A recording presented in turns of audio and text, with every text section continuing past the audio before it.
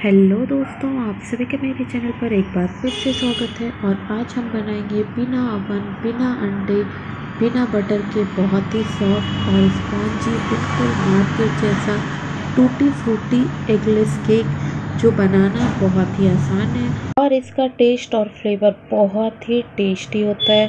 तो चलिए फटाफट से रेसिपी देख लेते हैं। के लिए यहाँ मैंने ऑरेंज रेड ग्रीन कलर की टूटी फ्रूटी ली हूँ और अब हम एक कप दूध डालेंगे यहाँ मैंने फुल फ्रेड क्रीम का यूज़ किया है और अब हम इसमें सेम कप से भी हाफ़ कप रिफ़ाइन ऑयल डालेंगे और इसमें एक चम्मच वनीला एसेंस डालेंगे और इन सभी इंग्रेडिएंट को हम चम्मच से ही अच्छे से एक से दो सेकंड के लिए मिक्स कर लेंगे और अब हम इसी मिक्सचर में एक कप चीनी डालेंगे।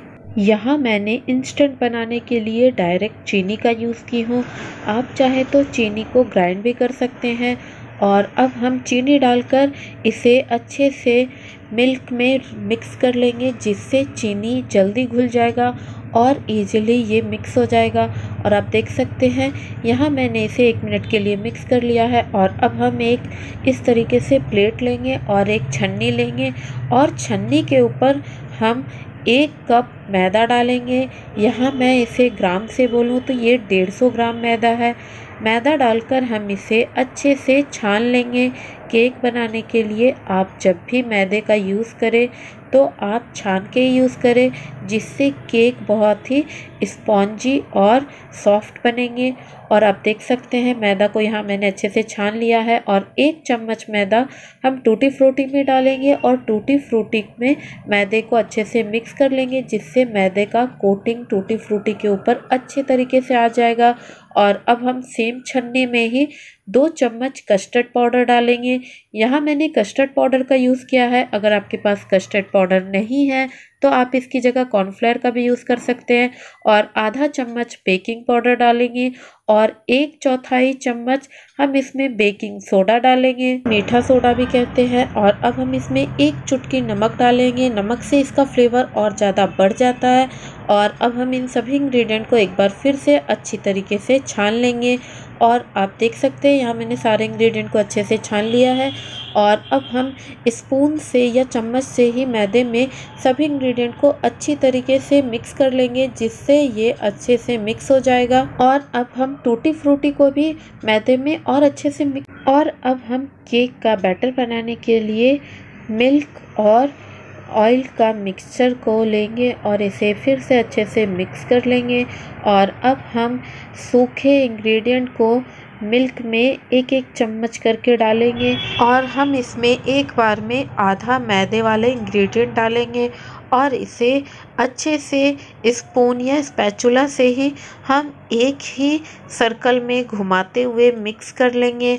आप चाहे तो कट एंड फोल्ड मेथड से भी इसे मिक्स कर सकते हैं। और आप देख सकते हैं, यहाँ मैंने आधे मिक्सचर को अच्छे से मिल्क में मिक्स कर लिया है। और अब हम आधे बचे हुए ड्राई इंग्रेडिएंट को एक बार फिर से मिक्स कर लेंगे और इसे भी हम चम्मच से एक ही डायरेक्शन में इस तरीके से चलाते हुए मिक्स कर लेंगे और इसका बिल्कुल ही स्मूथ सा बैटर बना लेंगे। हमें इसे तब तक मिक्स करना है जब तक ये लम्स फ्री ना हो जाए। और आप देख सकते हैं, यहाँ मैंने इसे अच्छे से मिक्स कर रही हूँ और आप इसे बीच बीच में चेक कर ले और आप देख सकते हैं, इसे मिक्स करते हुए लगभग एक से डेढ़ मिनट लगे हैं और बैटर हमारा बिल्कुल स्मूथ कंसिस्टेंसी में बैटर हमारी तैयार हो गई है और आप देख सकते हैं बैटर हमारा बहुत ही बढ़िया शाइन कर रहा है और अब हम इसमें हाफ़ या आधे टूटी फ्रूटी डाल देंगे और एक से डेढ़ चम्मच टूटी फ्रूटी को हम रख लेंगे। इसका यूज़ हम बाद में करेंगे और आप देख सकते हैं, यहाँ मैंने टूटी फ्रूटी को भी अच्छे से बैटर में मिक्स कर लिया है और हम इसमें हाफ़ टी स्पून या आधा चम्मच विनीगर डालेंगे। विनीगर डालने से आपका केक और ज़्यादा सॉफ्ट और लाइट वेट बनेगा और आप देख सकते हैं, विनेगर डालकर मैंने इसे एक बार फिर अच्छे से चलाते हुए मिक्स कर लिया है। और अब हम केक के बैटर को साइड रखेंगे और केक बेक करने के लिए यहाँ मैंने केक टीन में बटर पेपर डाल करके इसे ऑयल से अच्छे से ग्रीस कर लिया है। और अब हम इसमें केक वाला बैटर डालेंगे। बैटर डालकर हम इसे एक से दो बार अच्छे से टैप कर लेंगे और अब हम इसके ऊपर बाकी बचे हुए टूटी फ्रूटी डालेंगे। इस तरीके से आप टूटी फ्रूटी डालेंगे तो टूटी फ्रूटी आपकी बिल्कुल इक्वल सारे बैटर में अच्छे से रहेंगी, नहीं तो टूटी फ्रूटी नीचे तले में जाके बैठ जाएगी और आप देख सकते हैं बैटर हमारा बिल्कुल अच्छे से सेट हो गया है। और अब हम इसे बेक करने के लिए एक कुकर लेंगे और इसके नीचे एक इस तरीके का छोटा सा प्लेट डालेंगे। और अब हम इसके ऊपर केक वाला बैटर डालेंगे। बैटर को यहाँ मैंने कुकर के अंदर अच्छे से सेट कर लिया है। और अब हम कुकर का ढक्कन लगाएँगे।